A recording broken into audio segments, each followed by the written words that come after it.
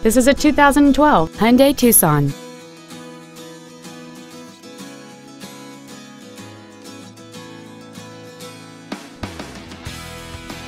All of the following features are included. A multi-link rear suspension, a low tire pressure indicator, traction control and stability control systems, a leather-wrapped steering wheel, a rear spoiler, privacy glass, an anti-lock braking system, side impact airbags, air conditioning, and this vehicle has fewer than 5,000 miles on the odometer.